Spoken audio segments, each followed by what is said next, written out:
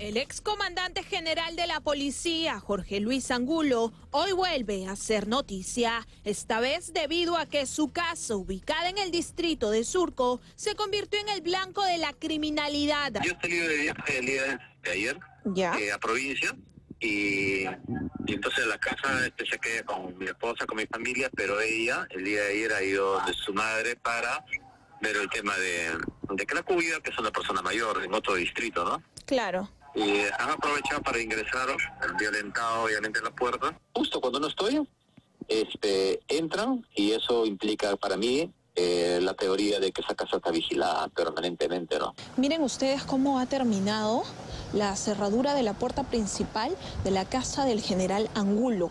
Ahí se ve totalmente la violencia que han utilizado estos criminales para poder ingresar al interior de esta vivienda. También dentro a esta hora del día, son exactamente la 1 y 37, vemos que hay personal de criminalística recabando mayores indicios, mayor información que permita dar con la identidad de estos criminales. Lo que llamó la atención del hoy general en retiro es que estos criminales no se llevaron los equipos y electrodomésticos de valor que tenían los dos pisos de su casa. Es extraño, para mí, con mis tantos años de experiencia, me resulta un tanto extraño un robo porque no se han llevado casi ni, no se han llevado artefactos.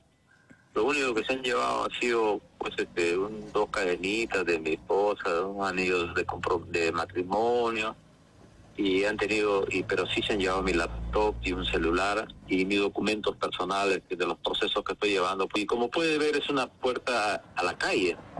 Han podido llevarse no menos de cinco televisores, entonces este, solamente han entrado para eso. Los documentos que pusieron en la mira estos criminales estarían no solo relacionados a los casos judiciales donde él es testigo, sino también a la demanda que interpuso el general contra el Ministerio del Interior y la presidencia del Consejo de Ministros por retirarlo de la institución policial. Demanda que estaría próxima a resolverse a favor del excomandante general de la policía.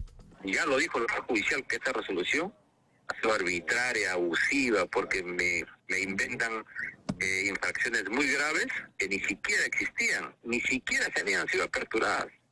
Entonces el tema va por ahí, ¿no?